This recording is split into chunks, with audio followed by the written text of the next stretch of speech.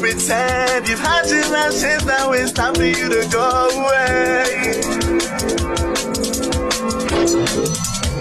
go away.